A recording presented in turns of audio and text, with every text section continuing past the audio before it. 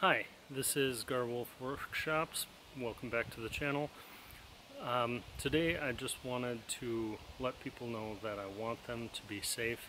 Recently in a video I noticed I was holding a cutoff piece and running into my inner wrist um, with a jigsaw and that was not safe and I don't want anybody to do anything that I'm doing that's foolish or unsafe.